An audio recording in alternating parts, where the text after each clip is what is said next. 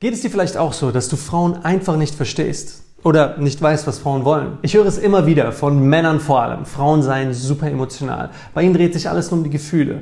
Mal wollen sie das eine, mal wollen sie das andere und am Ende des Tages weißt du nicht, woran du bist. Auf Frauen kannst du dich angeblich genauso verlassen wie auf die Lottozahlen.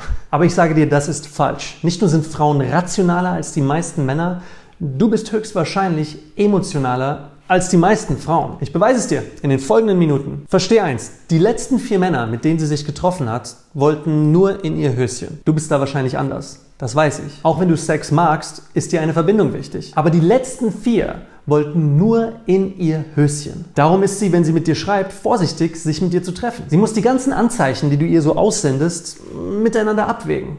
Okay, er hat mich höflich gefragt, er hat Mut, aber das hatten die anderen auch. Er ist süß, aber das will noch nichts heißen. Er ist witzig, aber vielleicht versucht er was zu verdecken. Er meldet sich jetzt schon echt lange nicht mehr. Hm, vielleicht, weil er kein ernsthaftes Interesse an mir hat. Eine Frau wird immer abwägen. Sie hat tausend Gedanken, die für und die gegen dich sprechen. Das Schöne ist, du kannst ihr zeigen, dass du einer von den Guten bist. Diese Chance will sie dir geben. Eine rationale Entscheidung. Kommen wir zum Treffen. Wenn du dich nicht traust, sie zu berühren oder über Sex mit ihr zu sprechen, ihre Hand zu nehmen oder ganz banal das Gespräch in die Richtung zu lenken, in die du willst. Und durchaus den Talk, den sie gerade über ihre Arbeitskollegen führt oder irgendwas anderes, was dich nicht interessiert, abzuschneiden, dass du dieses Thema ignorierst, sie mitten im Satz einfach unterbrichst und sie fragst, wofür brennst du eigentlich? Was ist etwas, das dir wirklich wichtig ist? Wenn du das nicht tust, weil du denkst, das sei unhöflich, dann machst du das aus Angst sie zu verlieren.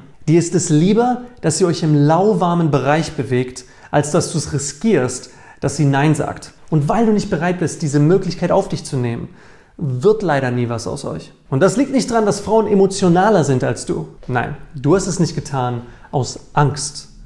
Das nenne ich mal eine emotionale Entscheidung. Sie hingegen hat irgendwo in der Mitte des Dates darauf gewartet, dass du sie küsst. Erinnerst du dich? Aber warum hat sie es nicht getan? Wenn eine Frau abwägt, ob sie dich küssen soll, dann ist das keine emotionale Entscheidung. Die hat sie schon getroffen. Emotional will sie es, sonst würde sie nicht abwägen, es zu tun. Aber ihre Freunde könnten es mitbekommen. Immerhin stehen sie in der Nähe. Oder du könntest sie als Schlampe deklarieren, wenn sie dich zu schnell küsst. Sie möchte das Ganze hinauszögern, damit ihr zwei mehr werden könnt, als nur die schnelle Nummer. Sie zögert dich zu küssen. Aus einem rationalen Grund. Die meisten Männer hingegen haben so viel Angst vor Zurückweisung, dass sie sich nicht trauen, diesen Weg zu gehen, sie zu küssen. Hand aufs Herz. Wie ist es mit dir?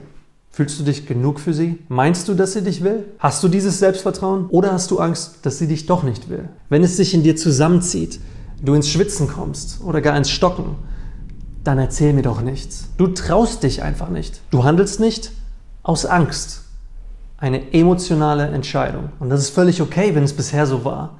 Aber jetzt, da du das weißt, trau dich. Sie wartet auf dich. Ach, hast du eigentlich schon abonniert?